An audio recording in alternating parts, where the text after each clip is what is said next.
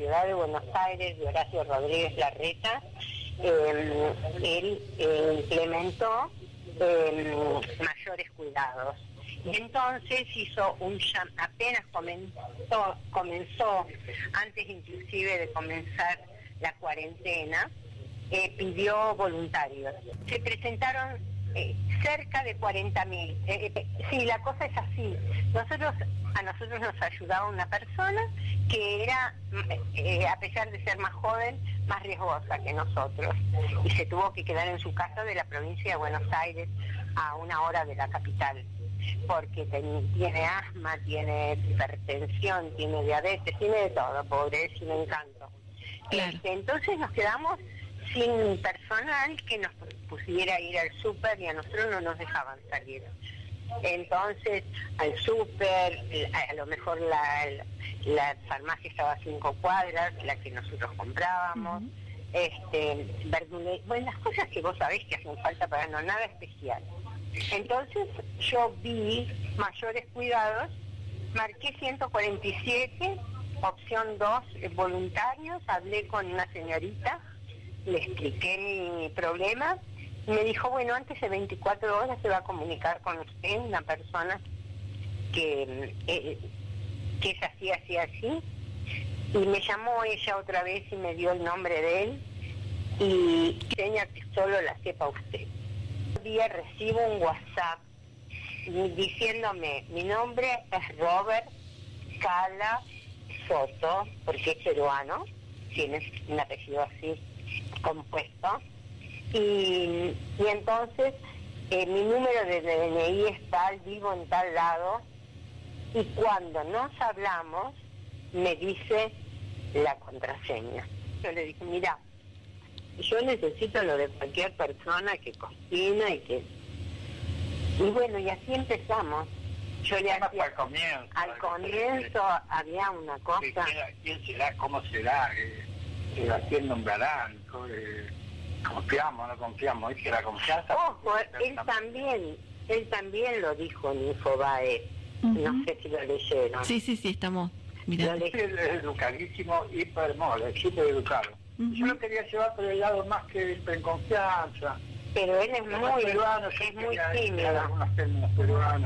no, el tipo es serio en su postura, ¿eh? Genio, genio, genio el tipo. Semana del 21 de marzo. De marzo. Porque yo creo que ya el sábado siguiente, del 21 hacia el 28, yo creo que ya él me estaba haciendo mandado.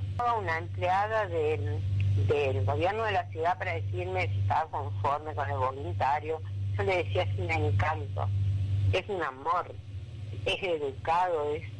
es Tiene un- que haber muchos Robert. yo decía, tiene vida. que haber muchos Robert, ojalá toda la gente haya tenido la suerte que tuvimos nosotros. Hay que resaltarlo a ese chico, hay que ponerlo bien. Claro, y entonces así Tiene valores, ¿eh? Valores. Y así fue, así fue que eh, se hizo tan famoso el tema, debe ser por eso.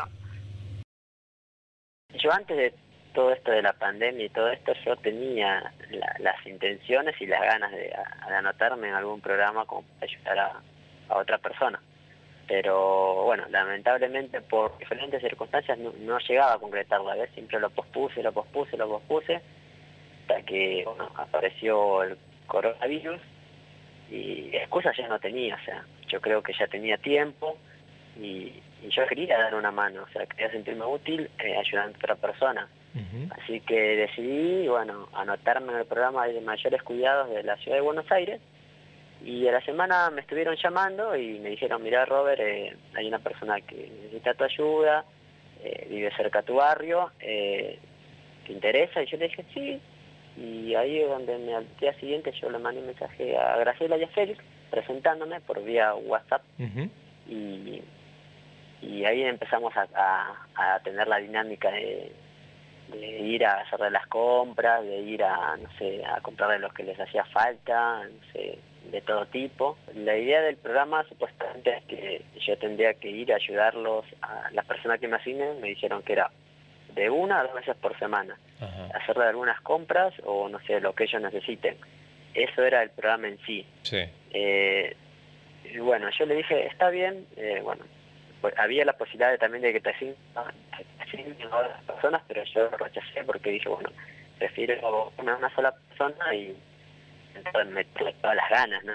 Claro. Y bueno, eh, cuando yo empecé a tratar a Graciela y a Félix, creo cuando comenzó todo esto de la cuarentena era un- todo un despegote, era todo un caos y bueno, ellos estaban complicados con el tema de sus compras, con el tema de cómo organizarse y bueno, hacer unas compras como ya no de una o dos veces por semana, sino casi interdiario, creo que a veces eran cuatro o cinco veces, pero nada, yo lo hacía porque me gustaba, o sea, yo sentía que, a ver cómo te explico, porque yo al principio cuando me inscribí en el programa yo también, o sea, tenía mis dudas de qué persona me iba a tocar, o sea, no, Claro. sabía quién Sí. iba a estar del otro lado. Yo cuando me inscribí en el programa era, yo dije, bueno, ayudaré a una persona, y, pero no, o sea, me imaginé formar otro tipo de vínculo, o sea, porque yo también dije, capaz que la persona que me toque por ahí otro carácter al mío, es una persona más cerrada, o es una persona que directamente no vamos a poder interactuar tanto porque ella lo decide o no sé, o, o directamente no íbamos a tener una química o una, o no sé, o íbamos a congeniar, pero con Graciela y Félix fue todo lo contrario, ¿ves? Eh, cuando empezamos a, a hacerle la- cuando empecé a hacerle las compras, empecé a, a conversar con ellos, en realidad podía hacer poco o nada porque bueno, el tema de la pandemia era que yo tampoco me podía acercar mucho, tampoco podía tener contacto, ¿no? Por el tema de los contagios Claro. pero eh, cuando yo le hacía las compras o le hacía alguna cosa que necesitaba, siempre Graciela fue muy, muy, muy, o sea, muy, ¿cómo explicarlo? Muy amorosa, eh, siempre estaba atenta, o sea, siempre cuando yo le hacía alguna compra o algo, ella me regalaba una sonrisa, o sea, yo sé que Graciela es una persona muy extrovertida, no sé si se habrán dado cuenta en la nota, o- pero ella, es de un- de- no sé, transmite mucha energía, es una persona muy alegre, o sea, y claro, yo a- al revés que ella soy un poco más tímido, no soy mucho de hablar tampoco de eso, pero ella me contagiaba de eso, yo cuando hacía la compra, ella siempre fue muy cariñosa conmigo. Y, y yo poco a poco, claro, yo lo hacía las compras cuando, no me correspondía, porque era una persona, yo lo hacía, me nacía hacerlo, o sea, ya se Eh, volvía, como que se volvía algo más eh, afectuoso, más ha- había un poco más de, de cariño, y eso me motivó a hacerlo con más ganas, o sea, hubo mejor acercamiento, hubo charlas que no tenían que ver tanto con comprar, sino charlas de la vida, sí, sí. y, y, y ahí es donde fue formando ese vínculo, o sea, eh, sería explicarle cómo se hizo todo, o sea, en realidad un proceso, pero yo tampoco me di cuenta, ya cuando estaba ahí, yo dije, "Oh, mira, ya hay una buena relación con ellos, eso me puso contento a mí.